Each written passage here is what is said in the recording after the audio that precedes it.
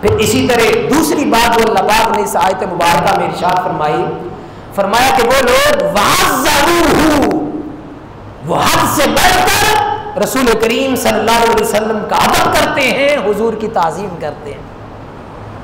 یعنی ایک ادب یہ ہے کہ ہم جو اپنے اساتذہ کا کرتے ہیں، ایک ادب یہ ہے جو ہم اپنے والدین کا کرتے ہیں، ایک ادب یہ ہے کہ جو ہم اپنے بڑوں کا کرتے ہیں، بزرگوں کا کرتے ہیں۔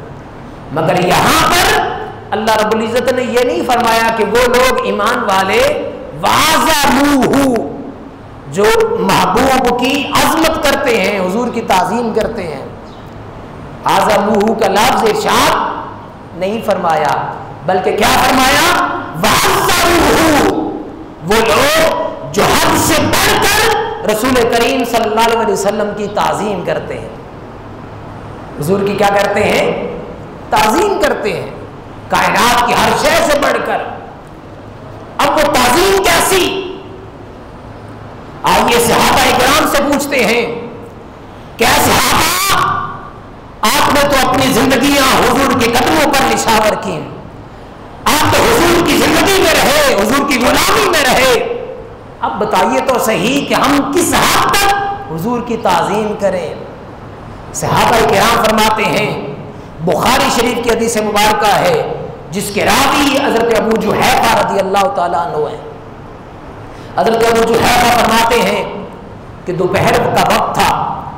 رسول کریم صلی اللہ علیہ وسلم نے جو ہے وہ وضو کے لیے پانی طلب فرمایا۔ صحابہ کرام نے حضور کے سامنے وضو کا پانی پیش کر دیا۔ حضور نبی کرم صلی اللہ علیہ وسلم نے اس سے وضو فرمایا اور وضو کے بعد جو پانی وضو میں سے بچ گیا، وہ صحابہ کرام کو دے دیا۔ حضرت ابو جو فرماتے ہیں کہ صحابہ نے وہ وضو کا بچا ہوا پانی لے لیا، اس میں سے کچھ کو اپنے چہروں پر مل لیا، کچھ کو اپنے بدن پر مل لیا اور اس طرح حضور کے بچے ہوئے پانی سے تبرک حاصل کیا۔ حضور کے بچے ہوئے پانی سے تبرک حاصل کیا۔ پھر یہی نہیں، آگے چلیے۔ دوسری حدیث مبارکہ وہی بخاری شریف کی ہے، جس کے راوی حضرت ابو موسا آشاری رضی اللہ تعالیٰ عنہ ہے وہ فرماتے ہیں کہ میں حضور کی بارگاہ میں حاضر ہوا۔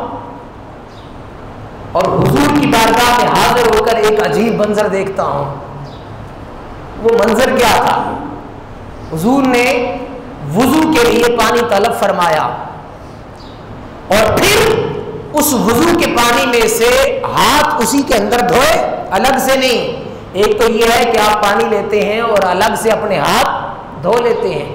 کولی کرتے ہیں، پانی باہر پھینک دیتے ہیں، مگر ایسا نہیں کیا۔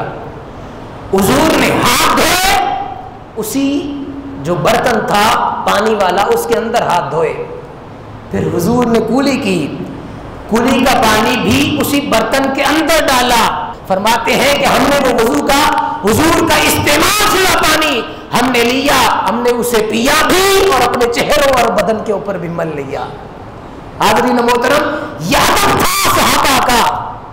یہ تعظیم تھی صحابہ کی کہ حضور کا استعمال شدہ پانی۔ اس کا ایک قطرہ بھی زمین پر نہیں گرنے دیتے، بلکہ اس کو اپنے ہاتھوں پر لے لیتے، اس کو اپنے چہروں پر مل لیتے، اپنے بدن کے اوپر مل لیتے۔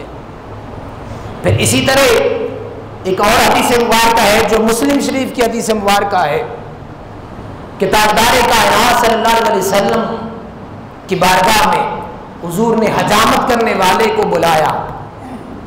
اب حجامت کرنے والا حضور کی بارگاہ میں حاضر ہو جاتا ہے۔ اب ادھر حجامت کرنے والا، حضور کے سر کے بال اتارنے والا حاضر ہوتا ہے۔ ادھر صحابہ کرام حضور کے ارد گرد چکر لگانا شروع کر دیتے ہیں۔ ایسے ہی ہے جیسے طواف کرتے ہیں حاجی اور خانہ کعبہ کے ارد گرد چکر لگانا شروع کر دیتے ہیں۔ وہ صحابی فرماتے ہیں، جب حجامت کرنے والا حضور کے پاس آتا ہے، صحابہ کرام حضور کے ارد گرد دائرے میں چکر لگانا شروع کر دیتے ہیں۔ اور جب وہ کوئی ایک بال کاٹتا ہے صحابیوں میں سے ہر کسی کی کوشش ہوتی ہے کہ وہ بال زمین پر نہ گرے، بلکہ وہ ہمارے ہاتھوں میں گرے۔ اور اسے تعلق کے طور پر ہم اپنے پاس محفوظ کر لیں۔ حاضرین محترم، یہ صحابہ کا تھا۔ یہ صحابہ کی تعظیم تھی۔